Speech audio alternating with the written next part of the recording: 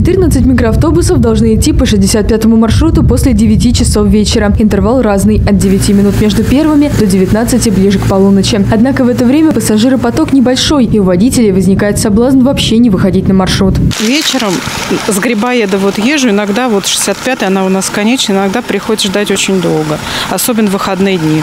Раньше было, что иногда стоишь, такое ощущение, что один водитель ездит, но сейчас нормально. Слава богу, что в такое время я могу доехать, потому что если там какие-то у водителя будут неприятности, то не хотелось бы. На перебой в работе 65-го маршрута поступали многочисленные жалобы, поэтому управление транспорта администрации города Рязани организовало выездные вечерние проверки. В рамках подобных рейдов уже проверили 41 маршрут, 49 и 57 движение 13-го автобуса, то есть транспорт, который обслуживает отдаленные районы города. Фиксирую время отправления, номер автобуса. Вот, таким образом э, записываю все рейсы, которые выполняются. Э, и затем интервалы движения потом э, высчитываются и сверяю с установленным расписанием движения. Особое внимание управление транспорта уделяет тем маршрутам, на которых принимают оплату по карте УМКа, ведь по ним действуют льготные условия проезда для пенсионеров, школьников, студентов. А значит, перевозчику эту сумму компенсируют из городского или областного бюджетов. Данный мониторинг мы обработаем на следующий день.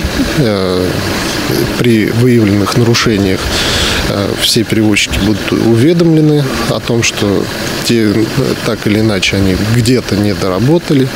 И, ну, соответственно, потом проводятся последующие такие же, ну, можно сказать, секретные выезды на предмет исправления. Стоит отметить, что выездные проверки – это дополнение к ежедневному сплошному мониторингу, который проводится с использованием системы ГЛОНАСС. Она установлена на всем общественном транспорте, как коммерческом, так и муниципальном. 65-й маршрут обслуживают три перевозчика. Всех их предупредили о проверке и пригласили на беседу, чтобы выяснить проблемы, с которыми они сталкиваются. Самая эта сложность у нас появляется, потому что водители выезжают утром рано, где-то к 6 часам они уже должны быть наконечны, чтобы начинать работу. Как бы и у них большой очень объем работы получается, что если они вечером в полдвенадцатого, двенадцать заканчивают, переработка большая по времени, как бы устают, а завтра, если им второй день еще работать, опять к полпятому уже на работу вернуться, получается, что у них время для отдыха очень мало. Также на маршруте могут возникнуть аварии и заторы. Эти, независящие от перевозчика факторы, проверяют по системе ГЛОНАСС и не учитывают при подведении итогов мониторинга. А с фактами недобросовестных перевозок разбираются в индивидуальном порядке. Галина Кудряшова, Станислав Кудряшов, телекомпания «Город».